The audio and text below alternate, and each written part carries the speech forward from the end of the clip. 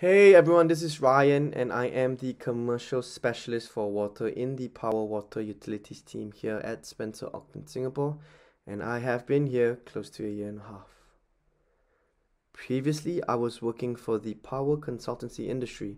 You know, worked as a vendor for a Singapore-based power generator and electricity retailer firm called Pacific Light, of which I was helping SMEs and local businesses save on electricity pricing prior to the pandemic you know, as the pandemic hit, the job became obsolete temporarily as there was no need to cost save in the industry, uh, as businesses either temporarily shut or closed indefinitely.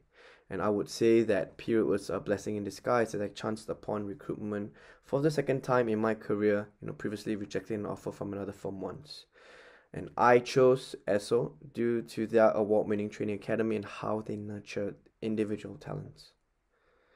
I started SO in January 2021 and was promoted in January this year to senior consultant, and I am on track to be a senior managing consultant by the end of the month.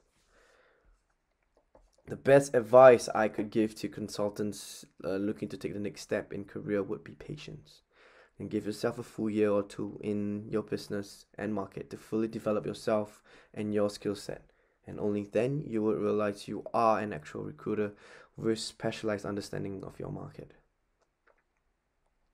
My manager result has been the forefront for my growth and has constantly pushed me in ways I've never thought I would be able to see myself in.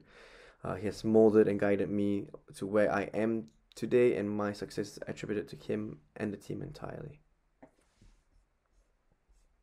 Uh, has always given us the platform for growth, whether it was helping us achieve growth to be a senior managing consultant, to even master trainings that they held uh, within the, the team. So ESSO and its L&D team is the vocal point to how on how they promote and help push for personal growth. And lastly, the top three tips I would give anyone considering a career in recruitment would be patience, grit, and hunger patience in a way that you don't see the bearings of a fruit immediately. Only with patience you would. Second is grit in a way where that uh, there will always be good highs, but there will always be very low lows. So you gotta have the grit uh, to survive in recruitment. And lastly, hunger. You have to have hunger in recruitment in order to succeed. So that is my three takeaways.